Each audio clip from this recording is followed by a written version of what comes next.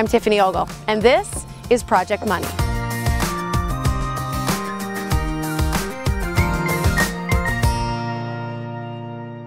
Our final team in the Project Money Challenge, Louise and Dave. You have to pay for Can I that. buy? For these two, there's no greater joy in life than family.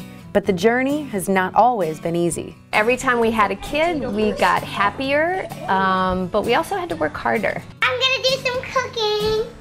But life dealt this family a huge blow. After Celine was born, when she was about nine months old, Dave was diagnosed with cancer.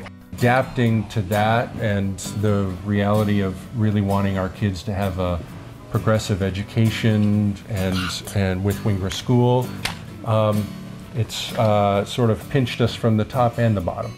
Thankfully, Dave's cancer treatments went well. But as the medical bills came pouring in, We really felt like the, the storm hit. It really felt like not only were we not getting anywhere, we just were sinking.